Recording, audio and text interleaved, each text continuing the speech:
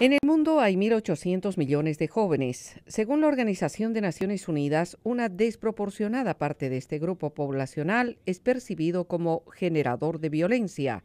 El Consejo de Seguridad de la ONU trabaja para cambiar esa errada percepción. Según el organismo, jóvenes son aquellas personas entre los 18 y los 29 años. A raíz de la resolución 2250, los Estados miembros deben implementar estrategias que los involucren en el proceso de toma de decisiones, en iniciativas que luchen para erradicar la violencia y que contribuyan a la resolución de conflictos. Ellos están capacitados para hablar con sus pares. Ellos pueden impulsar mecanismos de resolución para disuadirlos de acudir a la violencia y, en cambio, trabajar por la paz. Victoria Ibiwoye formó parte del lanzamiento de la resolución de la ONU durante una conferencia en el Instituto Estadounidense para la Paz.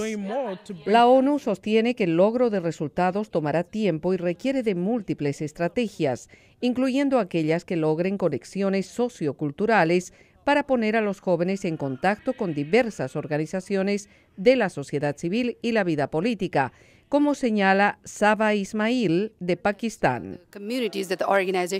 Es fundamental que las comunidades, las organizaciones y las instituciones crean en el poder de la gente joven, porque ellos tienen el poder de cambiar el mundo. Son generadores de cambio dentro de sus comunidades. Por eso, la vicepresidente del Instituto Estadounidense para la Paz, Manal Omar, sostiene que la inversión en la juventud es una inversión en la esperanza de un mañana mejor.